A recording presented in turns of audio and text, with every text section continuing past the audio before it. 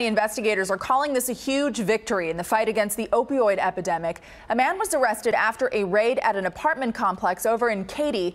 Channel 2's Sophia Ojeda joining us live from the area with details on what's being called a major bust. Sophia? Yeah, good morning, Sarah. That's exactly what it's being called. In Harris County Court this morning, prosecutors say 21 year old Kayla Petit was in possession of more than 100 grams of a prescription drug, allegedly delivered here from China. Now, this is where that raid happened here at his home at the Cimarron Parkway Apartments here in Katy yesterday afternoon. Now, let's show you some video of that suspect. This is 21 year old Kayla Petit, seen here in front of a judge in Harris County Court within the hour. A prosecutor said he bought 100 102 grams of fentanyl on an underground internet site from China, then had it delivered here to Katy.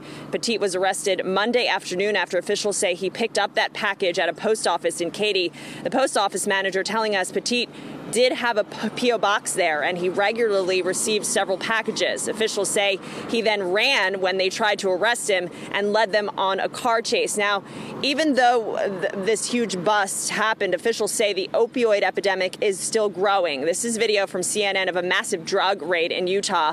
Dealers and users are now mixing it with heroin and cocaine to make it even more destructive. Here at home, several young adults this year have already overdosed and died after using this potent mixture. Oh, it's awful. Uh, they need to do something about it. I don't know. I know. I know it's bad. I have a son that has, you know, that grew up here. He's told me things.